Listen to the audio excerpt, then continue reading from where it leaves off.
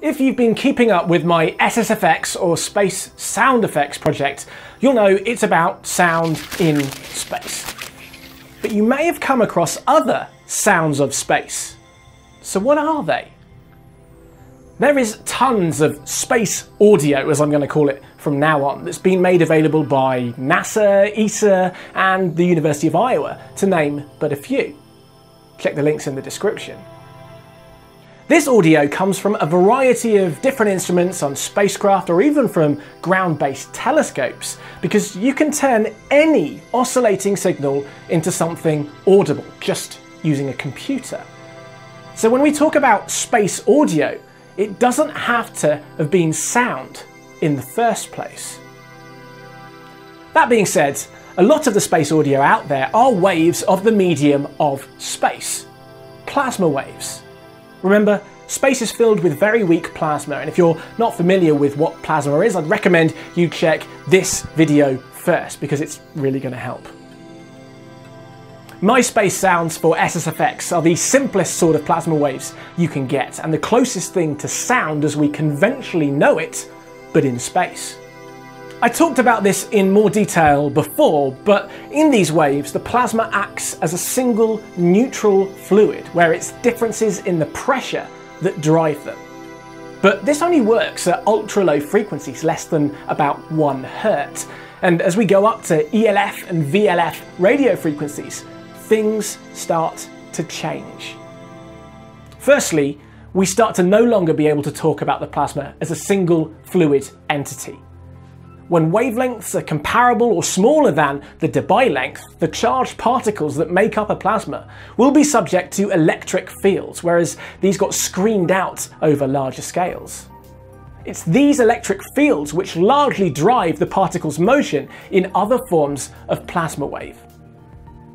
So while similarly to sound, they are mechanical waves because we have the motion of matter, it's not simply pressure that's causing this motion.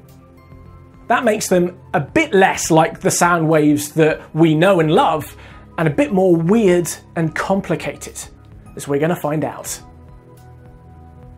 At the lower frequency end of plasma waves, it's really the ions that are transmitting the waves because they're much heavier and thus slower particles to respond with electrons being able to zip around in response to any changes quite easily.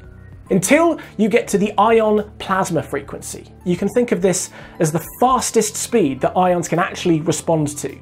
Beyond that frequency, those ions basically don't budge much.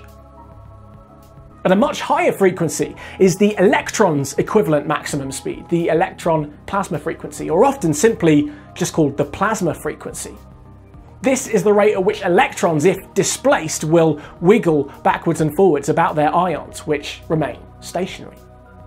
These plasma oscillations, or Langmuir waves, have been picked up in space. For instance, that's how we knew Voyager 1 had entered interstellar space.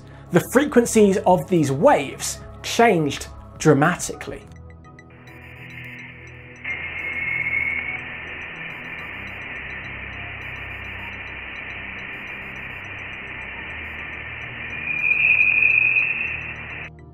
In between these two frequencies, we have some rather complicated plasma waves.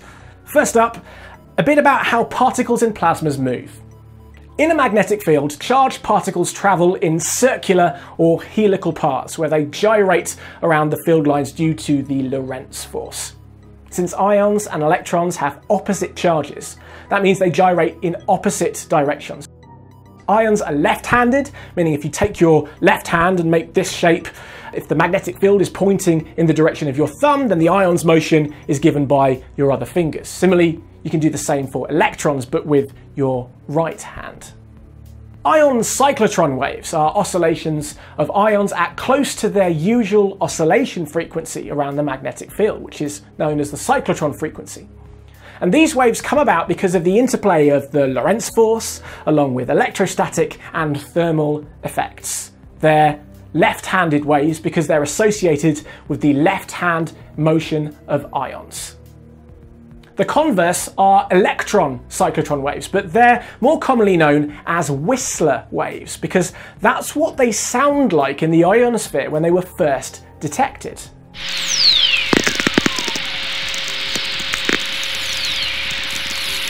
Whistlers are right-handed waves of electrons at close to their much higher cyclotron frequency.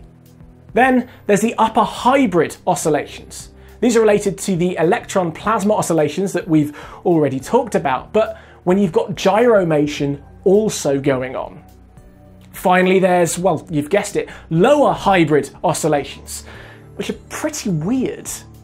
Unlike all the other plasma waves, ions and electrons play an equally important role in these waves.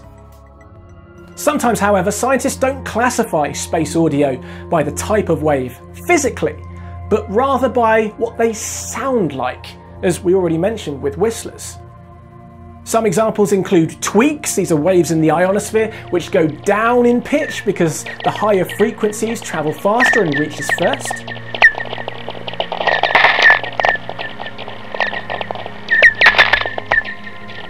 Then there's chorus, which sounds like birds singing and occurs in the same regions as the SSFX sounds, but obviously at much higher radio frequencies.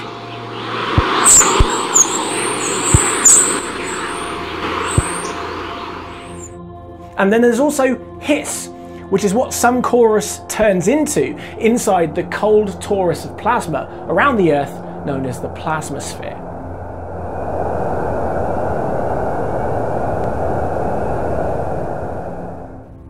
And it's not only around Earth where we've recorded these things, we've done it all over the solar system.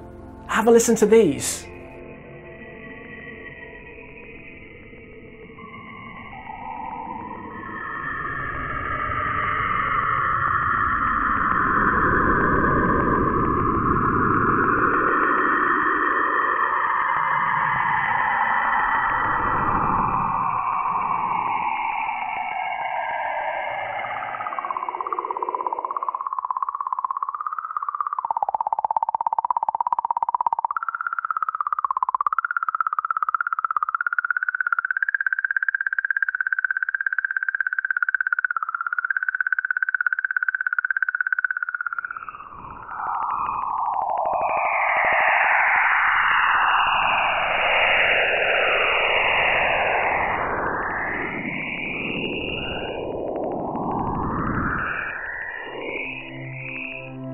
Of those waves I've mentioned are the only ones which require and involve the motion of matter in space. And as I said, their maximum frequency is the plasma frequency, because even electrons can't keep up when you're going above that.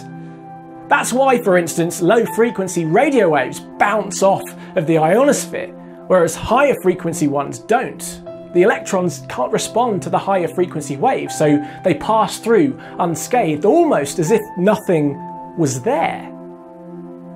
This effect not only means you can pick up stations from much further away than you should be able to otherwise, but it limits the radio astronomy that we can do here on the ground because there are radio waves from space which simply can't penetrate our ionosphere.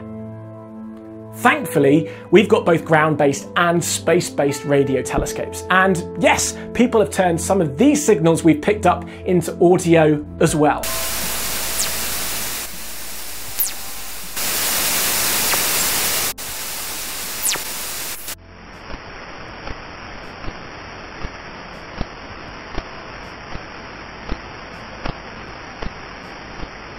And finally, don't forget our new astronomical tool, gravitational waves.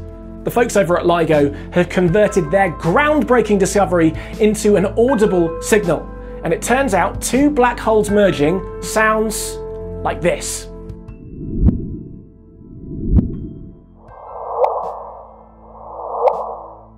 Thanks so much for watching. Do check out the other videos in my SSFX series or those links in the description to listen to tons of space audio. And also you can like and subscribe to my channel if you want more.